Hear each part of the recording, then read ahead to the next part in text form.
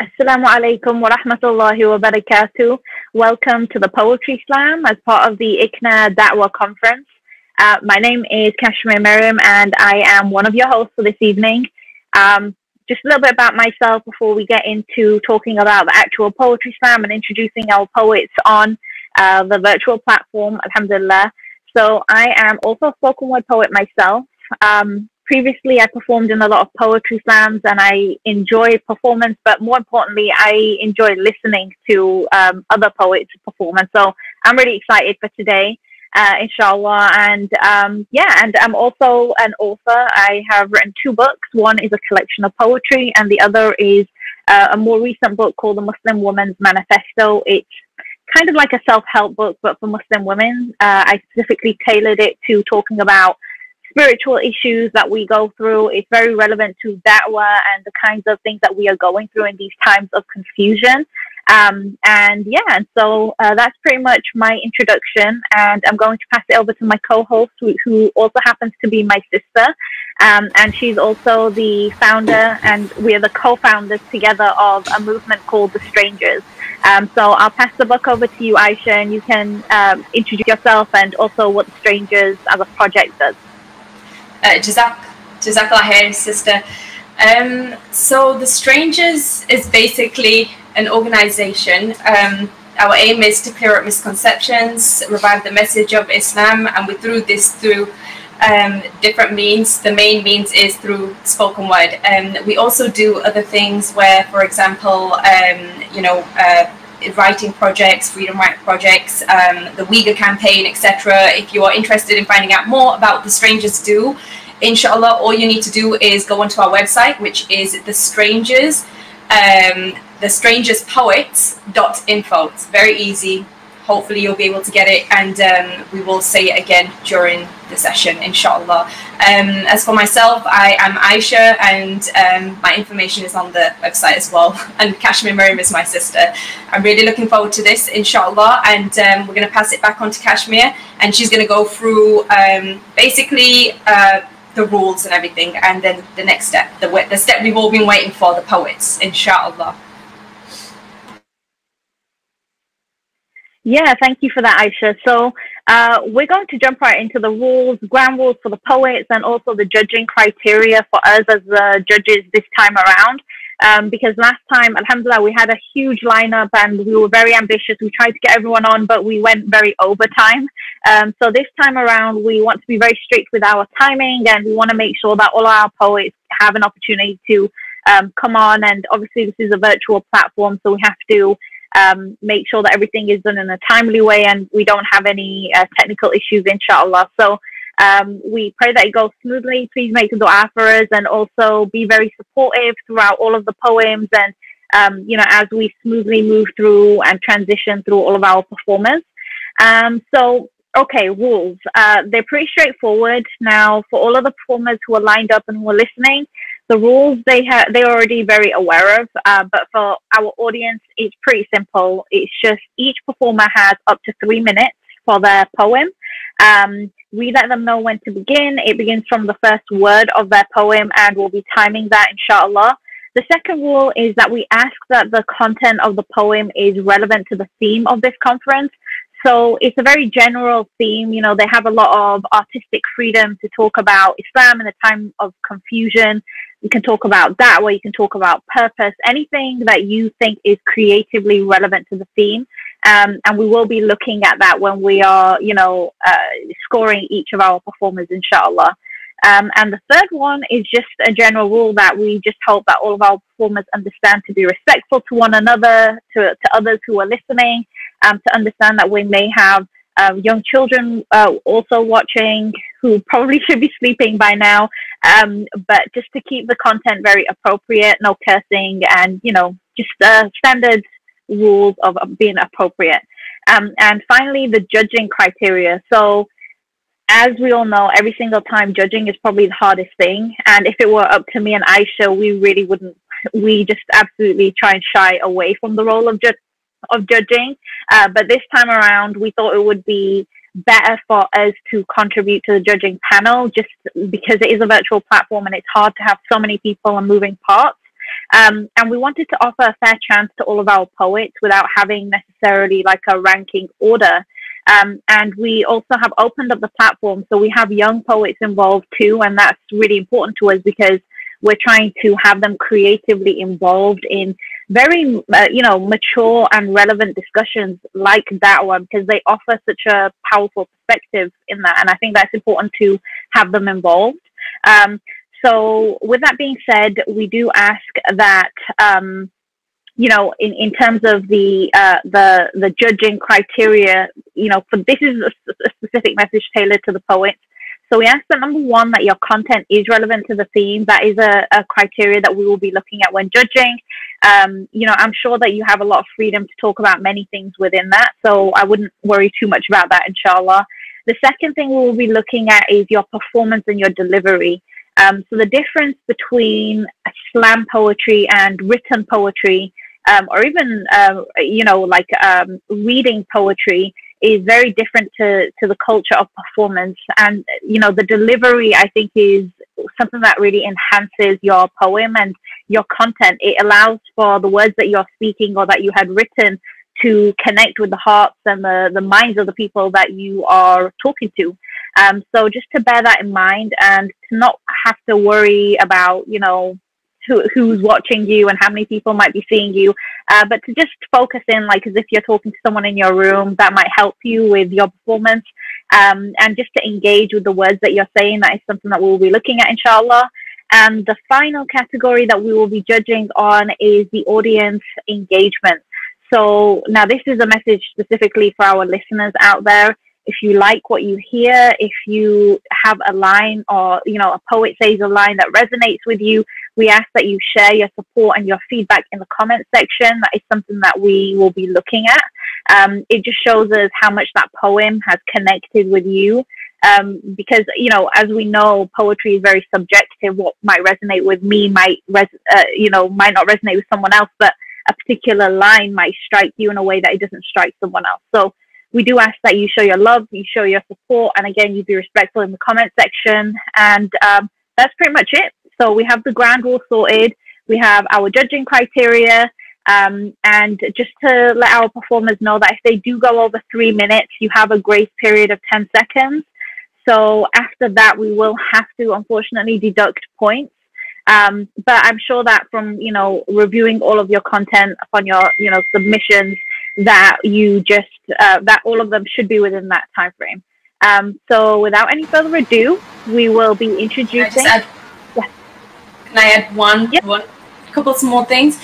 So um, as for the three minute grace period, um, now with the I know that the performers they might get a little bit nervous um, but don't worry about it just do the best that you can do if you go over you go over god willing you know that should be fine um, and we will definitely um, don't it's not it's not the end of the world. Don't get nervous. I can i can already feel the anxiety rising right now. Don't worry about it.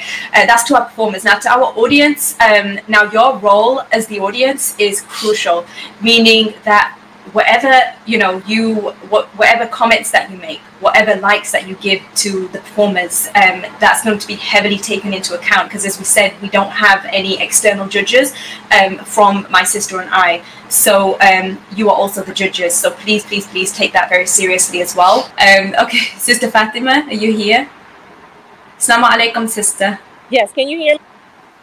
Wa alaikum salam. Can perfectly alhamdulillah we could see you as well Yes, we can hear you. Okay, alhamdulillah. Alhamdulillah. So, sister, please introduce yourself and um, maybe a little bit about the poem and then go straight to it, inshallah. Okay, then. My name is Sister Fatima, and I'm one of the older sisters, I would say. Uh, and this poem is about um, someone who's had a personal crisis and had to find Allah. And when you guys were addressing about uh, Islam and during times of confusion, this is about a personal crisis and how when the person dis, uh, actively turned back to Allah and remembered Allah and remembered the conditions of the Prophet wasallam, it was able to help them through their own personal crisis. Can you guys hear me? Yes, sister, we can hear yes. you. Okay. Jazakallah khair for that intro. And I know you're not, you're not one, you're not old. Okay. Okay, thank you. It's called The Awakening. Allah is my banner. Allah is my banner. I held this mantra so deep in my heart until the day those hands tore away my innocence, ripped open my essence, and forced me to believe Allah, not just believe in Him. I knew Allah was my Lord, but I didn't know He was my friend. Crying at the bottom of the staircase as the stranger darted off, leaving me discarded like trash. I couldn't hear anymore. I couldn't feel. I know I called out to my Creator, screamed the loudest I had ever screamed before, yet no relief came. In that moment, in the months to come, something shifted. The Allah I had always carried deep in my heart showed his presence forward. He wasn't just a deep hidden presence in me, now he was everywhere. As my brain kicked in gear, my perspective changed. I found Allah. I found Allah in my eyes as every tear dropped, reminded me of my fragility. I felt him as I fell to my knees in desperation, barely able to lift my forehead from the ground. My hands held the answers as I struggled to remember to point and lift when I said, La ilaha illallah. I heard him when I surrendered and yelled out loud, I know you have a reason and a plan. Allah, let me understand the rhyme and reason for my pain. The clarity of remembering every painful childhood and adult experience of our beloved Prophet, wasallam, connected me to the bigger picture. Then I heard myself say, the tester has graced you with something bigger than yourself. Listen and hear. Remember and appreciate stillness, for your answer is near. For every woman who has suffered at the hands of a molester, at the hands of a monster, you see them now. You feel them now. Before, this was someone else's story. You said a little prayer for them. You maybe said, I, I, am, I am sorry for them for what happened to them. But today, you are their brethren for real. You embrace them. You are them. The banner I held so deep in my heart is now ever present. As I walk upon this earth, things are no longer just other people's problems. They are mine. They are all of ours. Every difficulty costs us something. Every hardship gives us something. An opportunity for a better connection with others. If we let our tragic circumstances can be some if we let it our tragic circumstances can be someone else's catapult into greatness or our own. Allah is my banner. Allah is my banner. And I hold this mantra. I carry it on me now, not just inside my heart. Assalamu alaikum. Assalam wa rahmatullahi wa barakatuh. Uh, sister, I felt um, the overall essence of your poem.